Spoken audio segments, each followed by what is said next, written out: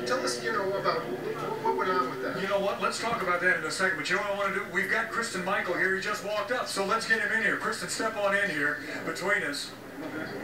First of all, congratulations. That's right. Turn that around so everybody can see. Congratulations on the big win this was kind of your coming out party the way you ran tonight, especially after having some back spasms last week.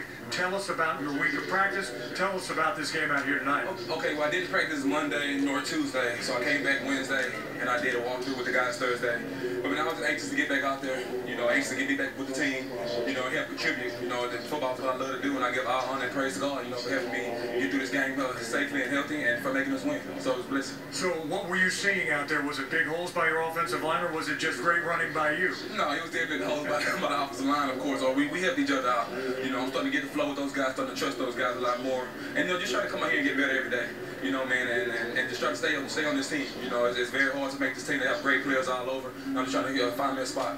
I know Gary has talked about this with some of the other players. This is a historic place, Lambeau right. Field. This is really something to come here. You guys didn't seem to let any of that bother you, including what happened last year before you were ever a Seahawk. Exactly. And uh, we out there, Coach warned before. He said, man, it's, to have awesome fans, they have an awesome crowd. You know, they have great players on their team, They just come out here and keep our minds focused and, and play to a high level. You know, that's what we came out here and did it's uh, getting a little bit dicey now for some players. Certainly not for you, but for some players.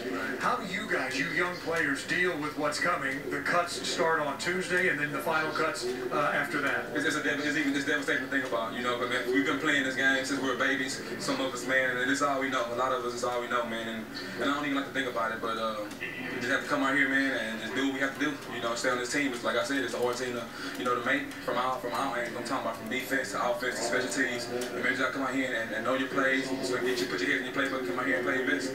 Three preseason games under your belt. What else do you have to do, do you think, to improve your play as you get ready to start the regular season? Just come out here, man, and play my ball. You know, play play play Seattle football, man. That's like I said, at a high level you know, and just, just be relentless out there, man. That's, that's what I'm learning from Marshawn, that's what I learned from Robert Turbin, you know, Russell Wilson, and some of those other guys. You know, what I mean? just come out here and give it all you can. You know, that's all you can do. By the way, they, I know they have a 12th man uh, down there at uh, A&M, but your first uh, your first chance to appreciate the 12th man in Seattle was last week against Denver. What was that like for all you young guys? It was incredible. It was incredible, man. And, and, and I'm saying I couldn't play in that game and be a part of it, man, just looking at that crowd, man, it was amazing. And that's the I feel that I'm sorry to say this, but that's the real 12th man over there in Seattle, you know. And it was just great, man. It's just a great place to be. Christine, we appreciate it. Good luck. Stay well. Stay healthy. We really appreciate it, man. Thank you. Christine Michael. He is a terrific running back. He is a terrific young man. And you saw a couple of, uh, as we like to say, put your foot in the ground and turn up field.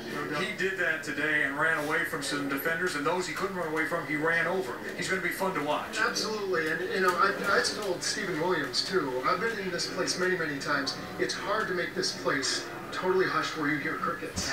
He did that. so, so did Steven. But th th this has got to be a thrill for a rookie. Mean, you played pro ball, you know what that's like.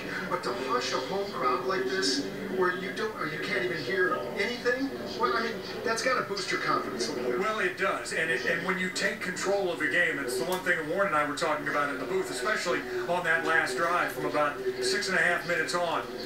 All they need is a couple of first downs and they can wind this thing out. And that's the kind of continuity, the kind of consistency that Pete is looking for. All too often tonight, you started to mention penalties earlier.